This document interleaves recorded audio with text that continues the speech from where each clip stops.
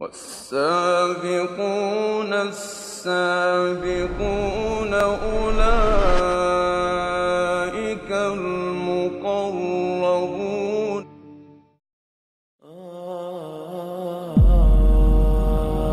Kur'an-ı Kerim bize böyle dua etmeyi emreder.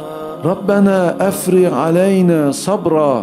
Rabbimiz sabrı bizim üzerimize yağmur gibi boşalt ve sabbit akdamena ve ayaklarımızı da sabit kıl. Ayaklarımızı sabit kıl.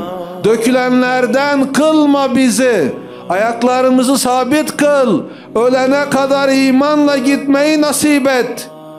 Çünkü bir asma köprünün üzerindeyiz. Sallanıyor bu asma köprü. Her an düşme tehlikesi var. Bu dünya hayatı bir asma köprü gibi. Her an kimin düşeceği belli değil. Ha 20 yaşında ayağınız kaydı düştünüz. Ha 40 yaşında, ha 60-70 yaşında ne fark eder? Ayağınız kaydıktan sonra, düştükten sonra, uçuruma gittikten sonra ne fark eder? O yüzden ve sabbit akdamena ayaklarımızı sabit kıl. Allah bize böyle dua etmeyi öğretiyor. Demek ki ayaklar sabit değil.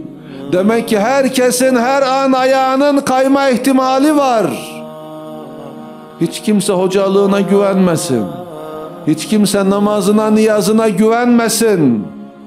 Hiç kimse yapmış olduğu hizmetlere güvenmesin. Ben şöyle şöyle şöyle hizmetler yaptım demesin. Hepsinin karşılığını fazlasıyla aldın. Allah sana sağlık verdi. El verdi, ayak verdi. Göz verdi, kulak verdi. Sana yiyeceklerini verdi. Sana her şeyini verdi. Aldığın nefesi verdi. Sana bir aile verdi. Sen yaptıklarının karşılığını misli misli aldın onlara güvenme. Kalbine bak. Kalbinde bir arıza varsa eninde sonunda ayağın kayacaktır.